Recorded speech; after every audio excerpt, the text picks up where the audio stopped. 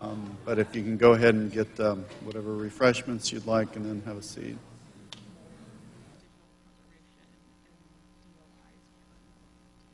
Well, for this next panel, let me uh, say how, how um, pleased I am, and, and honestly, know, I couldn't picture a symposium without having a panel of practitioners, you know, editors who uh, are, are sort of the backbone of open access publications um, from the, the faculty, you know, the scholar perspective of uh, creating these things. And I've known all three of our panelists in various capacities for years.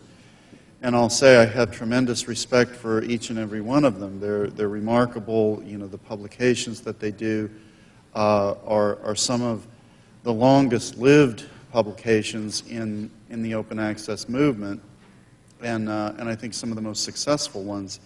We thought that uh, we could draw on their expertise and, and experience in, well, how do you sustain these things over time? What are, are, are good strategies for keeping them going?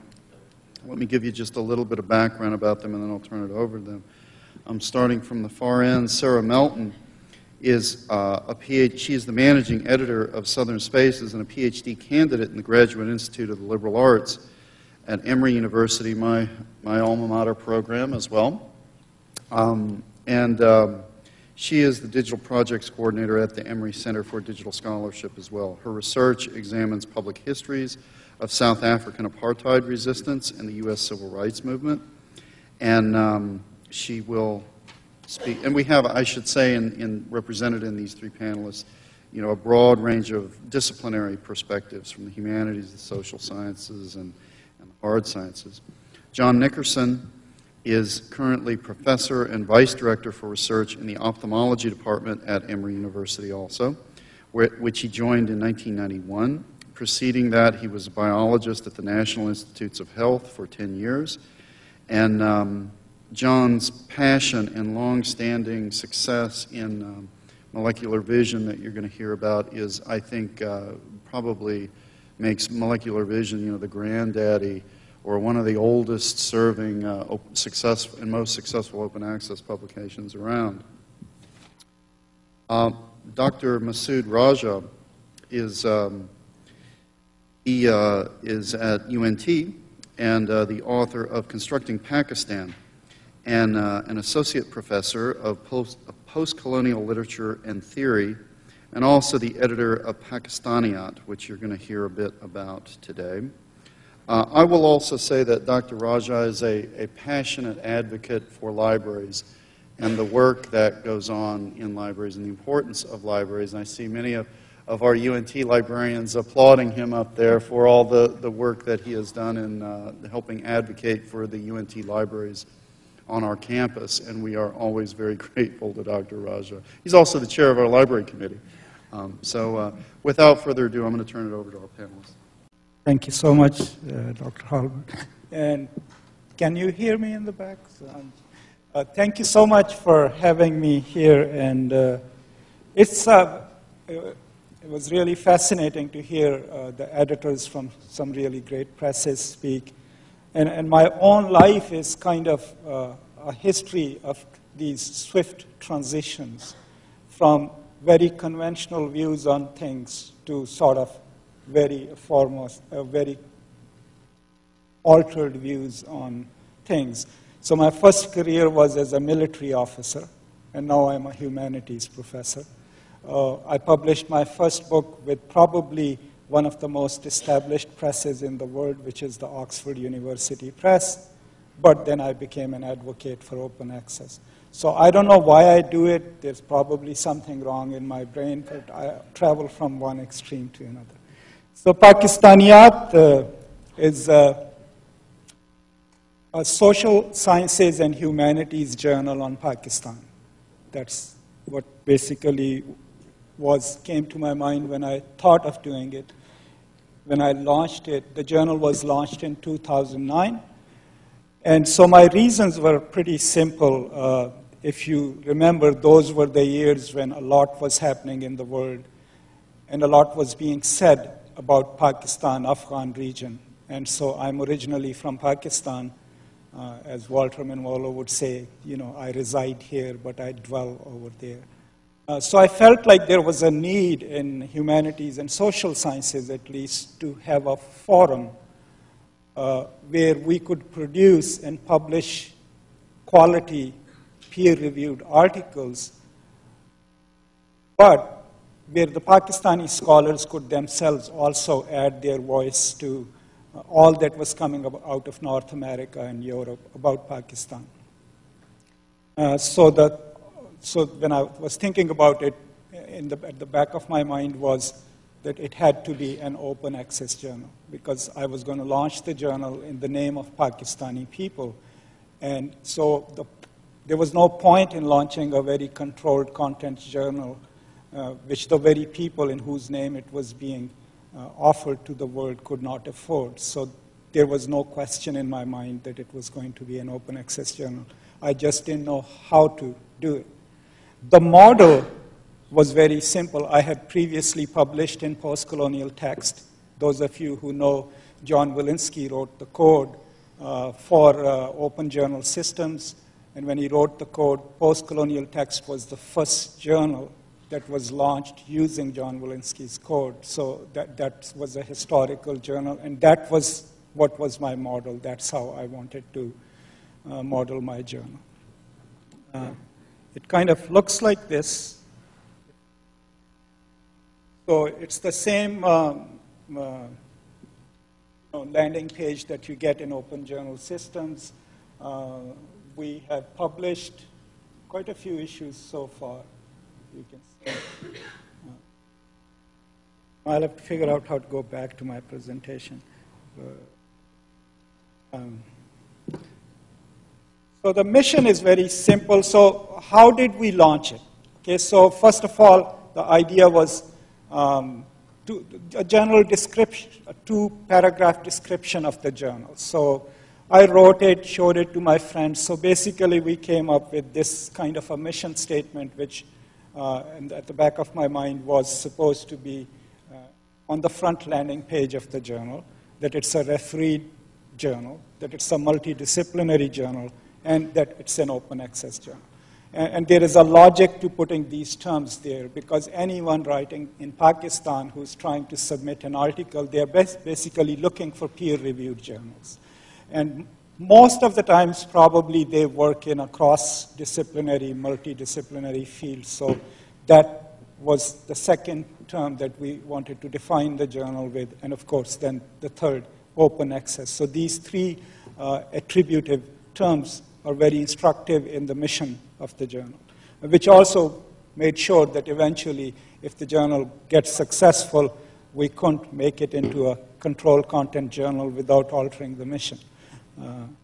And so uh, that was the brief mission statement that we used. And then uh, how, what's our publication model? We publish three um, issues a year. And that's kind of on the traditional lines. Instead of doing one continuous issue, uh, we do three issues a year. Uh, our online version is fully open access, immediate open access. Uh, and then we also, of course, registered ourselves as a print journal, and we make our print version available through a print on demand publisher. So the, the, the week we publish our online version, we prepare the same files according to the parameters of our print-on-demand publisher. We just dump the cover and the files there, and within 10 minutes, the print version is ready. Um, and it, it, it has its own page. We do it through a commercial print-on-demand publisher, which costs us nothing. Uh, all the issues can be purchased both in digital form as well as in uh, print form through their website. Now, the problem that we have with that is, uh, you know, most of the times what we would sell is, uh, is uh, I still don't know how to get back, but I will. Uh, most of the sales that we have are mostly vanity sales. You know, an author has published with us, they want a copy that they can show to someone. Uh, but still, we do sell some copies uh, to people. And then uh, the software that we run our journal on is, of course, open journal systems. So this is our publication model uh, in terms of both online and print versions. But I'm coming to the um, important things. So before we launched the journal, uh, these were some of the considerations. I mean, where would the funding come from? Uh, I mean, I might need some money to launch the journal. Uh, who would host the journal and what kind of technical support we would need. Now, when I launched the journal in 2009, we had no institutional commitment. No one had promised me that, you would, uh, that they would you know, give us some money.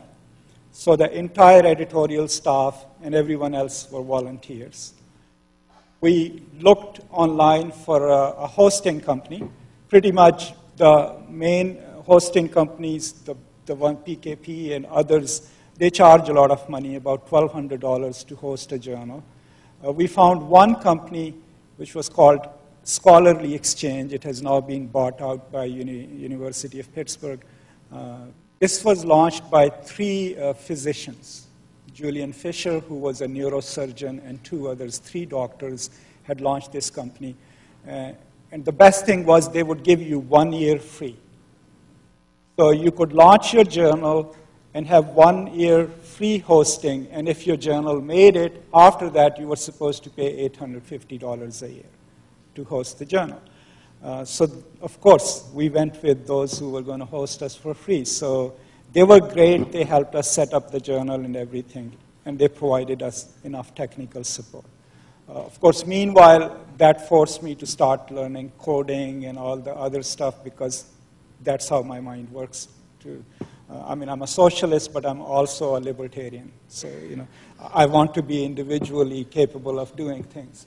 So, so these were three main considerations funding, the hosting of the journal, and then the technical support. And the second important thing was how do you establish a journal about Pakistan? Uh, you know, what are the steps we took? So, of course, we, uh, I went and contacted everyone affiliated with Pakistan studies all over the world. Okay. Scholars from here, uh, scholars from France, England, Australia, and I requested them, you know, an email saying, This is what we are trying to do. Would you like to be on our editorial board? It won't require you to do anything, but we would just seek your guidance as the journal progresses. So within the first or two weeks of launching our website, we had pretty much everyone who's anyone in Pakistan studies on our editorial board. And these are not members of our editorial team but they are our advisory board. Now, that gave us some legitimacy because when anyone comes to our website and looks at it, the first thing they are going to look at where is the journal house? So it's affiliated with a university. And who's on their editorial board? You know, are there any big names? Uh, Katherine Ewing from Duke and you know, Anita Weiss from Oregon, people who, who write about Pakistan and stuff like that. The editorial team, of course, then had to be section editors. So if I am the editor and I'm also editing the article section of the journal, I needed uh, a review editor. I needed, uh, I went and recruited a review editor from France who was interested in Pakistan studies, uh, a creative nonfiction editor, a poetry editor, and an Urdu editor because we were going to accept submissions in Urdu as well. So so we had a full editorial team. And then volunteer copy editors and uh, proofreaders, and then finally a layout editor who would lay the issue out in, in the final version before we published it. So we, had, we created that full team. Then we created a whole list of reviewers. Any article that we get, who would we send it to and ask them to uh, allow us to send them one or two articles a year so by the time we launched the journal, we had about 50 people who had agreed to review articles for us. Now we have about 250 people review articles for us. Then uh, was launching the journal, sending our calls for papers. So we used every list, you know, Penn State list, humanities digital list, university email uh, systems, uh, lists uh, of different organizations just to send our first call for papers. And then we immediately started looking towards indexing the journal. So, you know, we listed the journal with Ulrich and others because it's easier. All they need is uh, an, an, intent to publish and information. But we immediately also contacted MLA and other uh, indexing, social sciences indexing uh, companies and started sending them our information so that by the time we start publishing, we have a history with them. Because when you publish with a journal, you need to see, you know, who is indexing them. Yeah. And then we used the social media. We, we created uh, a Facebook page for the journal and made sure that people know about it and made sure that they go there to get their information. And then uh, the most important step, I think, which made us successful was creating an affiliated blog with the journal. Uh, so the blog is called the Pakistan Forum, and it, it was started as a simple blog, but then it became a multi-author blog because we started getting submissions from, uh, you know, people like uh, the former ambassador to Pakistan, people like Tariq Ali, uh, Pervez Hoodbhoy, who's a big peace activist in, uh, in Pakistan. So the blog kind of eventually became so prominent that it now sends people to the journal. So these were some of the tools uh, that we used uh, uh to, before even publishing, you know, a single issue, to create a digital footprint of a promising journal which is coming up, uh, which has applied for indexation, which has a good editorial board and good editorial team. And that eventually took us to our first issue. And after we launched the first issue, um, which was very successful, I think we've had about, so far, about 5,000 downloads of our first issue. Then, then we were set, because after that, all we had to do was publish on time and just make sure that we get in, we get in touch with it. Now, the question then was the second year of payment for the hosting fee. I'm still talking about the first year. Um, so I was at Kent State then. So the second year, I went to my chair. Of course, that's what you do if you're a junior assistant professor. As we say in Urdu, you know, like when a, when a mullah wants to do something, what does he do? He runs to the mosque, right? It's the same in an English department, you go to your chair. So my chair was kind, kind enough, he gave me some money, and I put some of my own money into it. And for the first two or three years, that's how we worked. Uh, and then we applied for a small grant to American Institute of Pakistan Studies. And American Institute of Pakistan Studies uh, didn't have an in-house journal they had an affiliated journal called Annual of Urdu Studies, which had been in publication for 25 years. Uh, the journal eventually had to close because they didn't transition from a print publication to a digital publication. Uh, so they were looking for a journal that they could call, this is the journal affiliated with us. So they reviewed us and they decided to give us a small grant. And that's all we needed to cover our costs. Uh, and then eventually, you know, I moved to UNT, and so UNT was more supportive of the project. I'll just still figure it out. And uh, so now what we do is last year, instead of giving $1,000 a year to Penn State, uh, we decided to take the next step and we started to decided to self-host the journal. Now, the problem with hosting online journals for those who are not funded by institutions isn't that you cannot pay the hosting costs. You know, most of us who have websites can afford to pay for them. The problem is that none of them would give you a monthly payment plan. So they want their $1,000 in one payment, which most of the times we do not have. So when I created our own hosting account, thankfully this company uh, using international reach of digital media because this company is based in Sweden. Their technicians are from Russia. But they're good. You tell them, I want this program launched, and can you debug it? Within 15 minutes, they had launched Open Journal systems for me. and we migrated the journal. So now we pay about $20 a month for our hosting fee. That means we never have to worry about funding. Uh, so these are some of the steps that we took. Um, where do I go? Sorry. I'm supposed to be good at these things, but.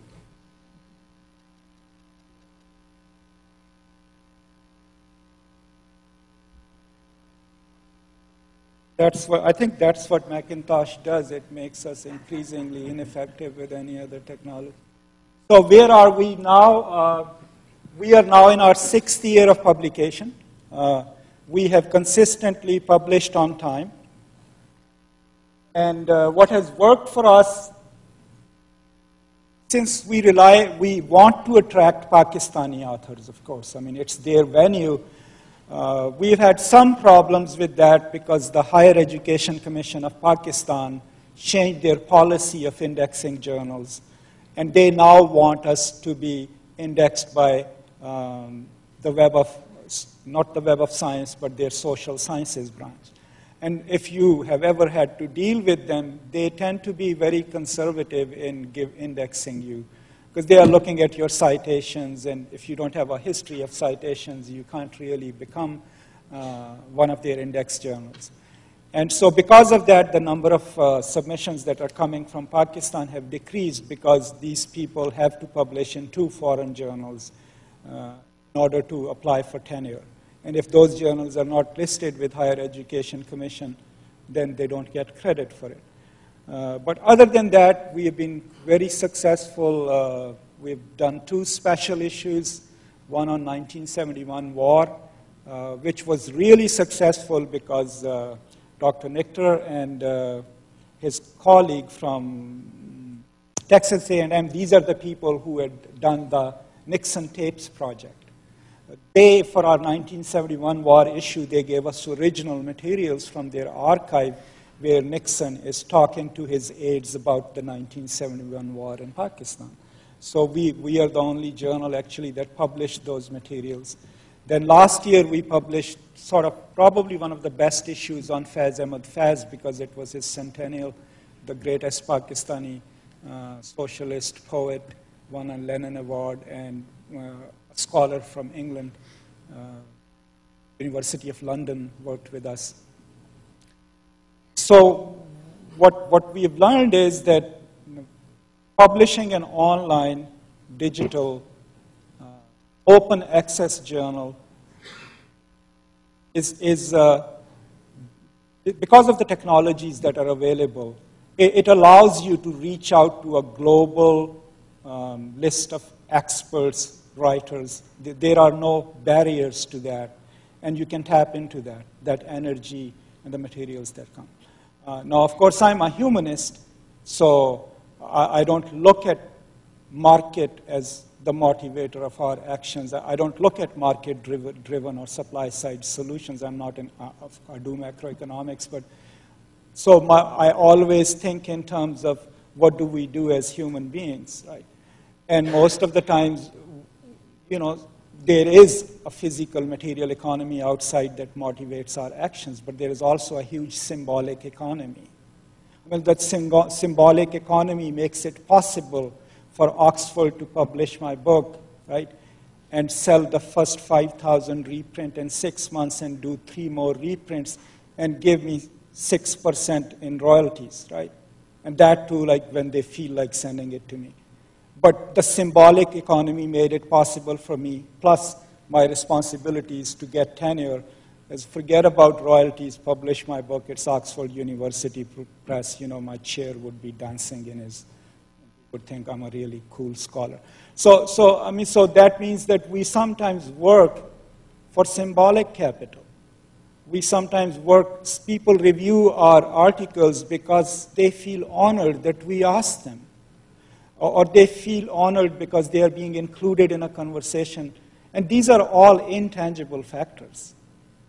And, and in order to run an open access journal, we have to rely on that. We, we can't just think in terms of money and how we are going to pay for it. We have to rely on the goodwill of people. And, and I can say over the last six years, I, I, I've been humbled as to how many people graduate students and uh, faculty members, scholars in the field have, in, have helped, helped this project.